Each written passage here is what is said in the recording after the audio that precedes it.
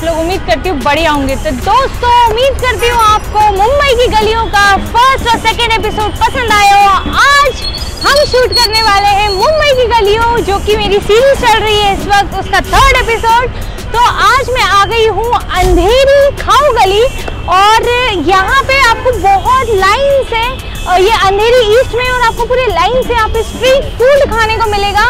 और हम इस वक्त खड़े हैं यहाँ पे जो कि जो कि है पहला स्टॉल और वो है डोसे का स्टॉल। तो मैंने सोचा क्यों ना कुछ इनोवेटिव डोसा खाया जाए। तो आ, मैं खाने वाली हूँ चाइनीज़ डोसा। अब देखते हैं चाइनीज़ और डोसे का फ्यूजन ये कैसा बनता है। तो चलिए let's start with the third episode of Mumbai की गलियों में।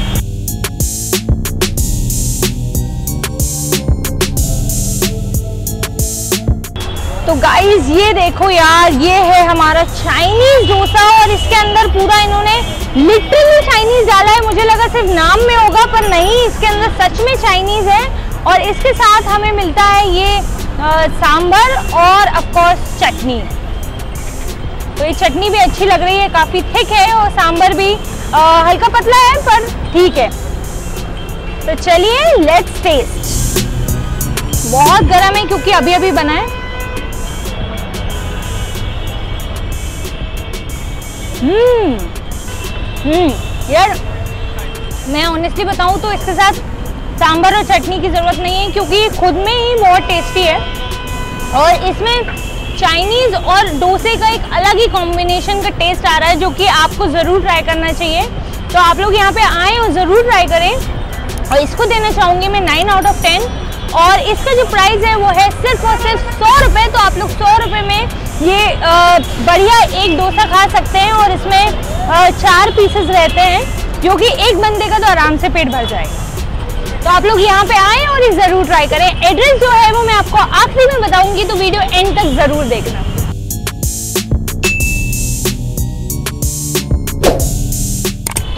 गाइस अब हमने डोसा खा लिया है और काफ़ी टेस्टी डोसा था और अब हम ट्राई करने वाले हैं जो बहुत इंपॉर्टेंट चीज़ है आई I मीन mean, जो मुंबई में बहुत लोग ऐसे चलते फिरते ही खा लेते हैं।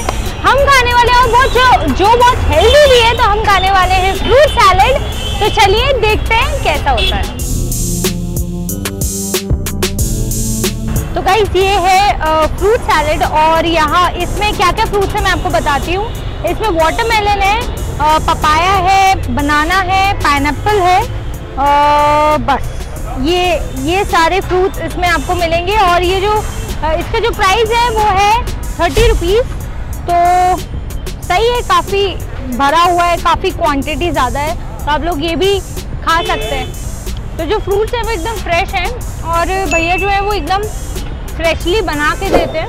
ऐसा नहीं कि पहले से बना हुआ है और फिर हम खा रहे हैं। तो आप लोग यहाँ पे आए और फ्रूट सैलेड ज़रूर खाएँ। हम्म तो भाई ऐसा है कि ये जो खाओ गली है ना, यहाँ पे आप लोग थोड़ा दोपहर के टाइम पे आना। मैं थोड़ा शाम के टाइम पे आई हूँ, चार बजे करीब। तो बहुत से ऐसे स्टॉल्स हैं जो कि मतलब वाइंड अप करके जा रहे हैं। तो आप लोग ध्यान रखें, आप लोग दोपहर के टाइम पे आना और इसका जो एड्रेस है वो बहुत इजी है।